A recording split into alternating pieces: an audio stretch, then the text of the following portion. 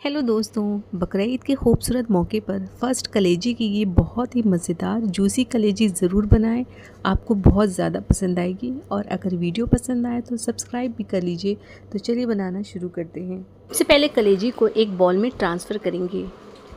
यहाँ पर मैंने ट्रांसफ़र कर दिया है और यहाँ पर जो इसके ऊपर एक लेयर होती है, पतला सा कलेजी पे एक लेयर होती है, उसको हाथ की मदद से इस तरीके से हमें क्लीन करना है।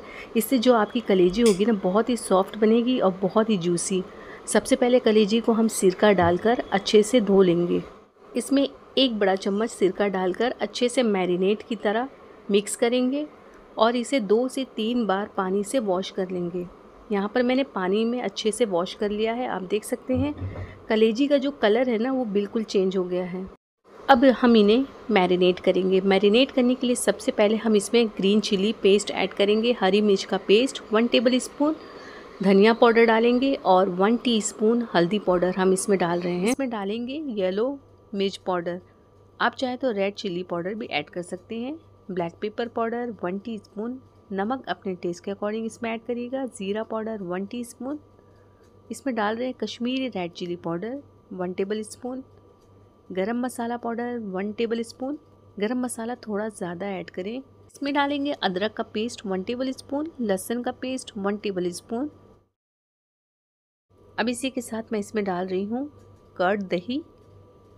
एक बड़ा चम्मच हम इसमें दही डालेंगे वन टेबल स्पून अगर आप छोटे चम्मच से डाल रहे हैं तो दो चम्मच इसमें ऐड कर दीजिए और इन सबको अच्छे से मैरिनेट कर लीजिए।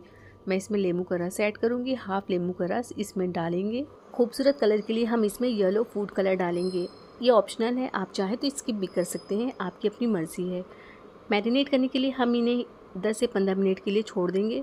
एक फ्राई पैन ले लेंगे, जब तक हम मसाला भूनना शुरू करते हैं पैन में डालेंगे one tablespoon cooking oil इसमें कुछ खड़े मसाले डालेंगे, तेज़पत्ता, दालचीनी, एक लाल मिर्च, ज़ीरा, काली मिर्च और यहाँ पर मैंने जावित्री ले ली है। जावित्री का एक छोटा सा हमें इसमें टुकड़ा डालना है। इन खड़े मसालों को हम तेल गर्म होने के बाद तेल में अच्छे से डालेंगे।